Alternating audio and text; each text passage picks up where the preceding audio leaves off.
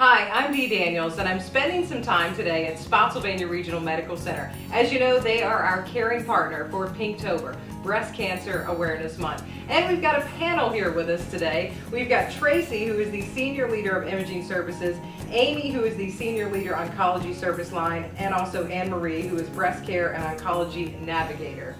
I want to start with you, Tracey, and talk about the Mammos and Massages because okay. this is such a huge event, not just for October, obviously, but it continues even past that. Yeah, Dee, we've had a great response um, this past month of October. Um, we've had them every Monday, Tuesday, and Wednesday evening. We've had later hours in the evening. So um, with that great response and turnout, we're actually have extended those dates into November and December. Excellent. And of course, it sounds like not only are you guys getting a great turnout, but you're also getting a lot of women who are finding things early, and that's really what it's all about, early detection. Absolutely. Um, women should be getting their baseline mammogram at the age of 40.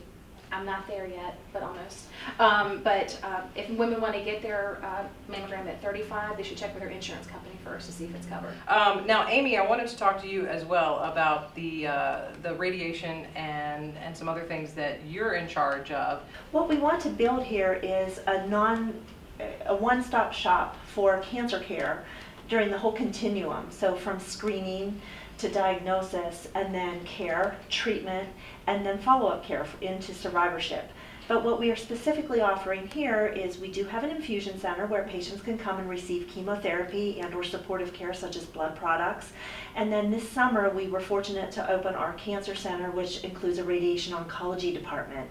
And we have Dr. Michael Perazzo here who came to us from Washington Hospital Center and a staff that has excellent um, experience from multiple other sites and we are looking forward to doing both. We already do external beam radiation therapy, which is kind of standard radiation therapy, but we also just installed our HDR unit, which is high dose radiation unit.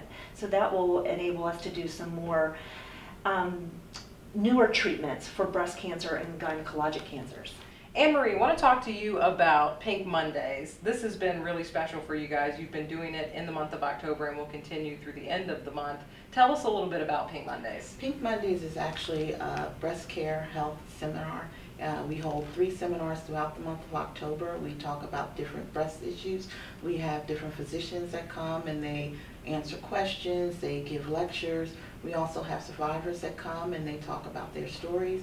They do uh, stress reduction techniques and just help the women kind of know that what they're going through, they're not going through alone. That's wonderful. And you know, I love your title, Breast Care and Oncology Navigator.